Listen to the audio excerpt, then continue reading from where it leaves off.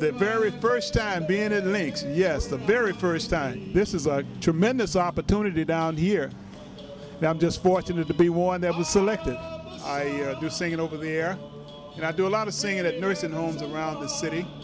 When I have the opportunity to sing, they call and I come running. Hope to come back. Really look forward to it.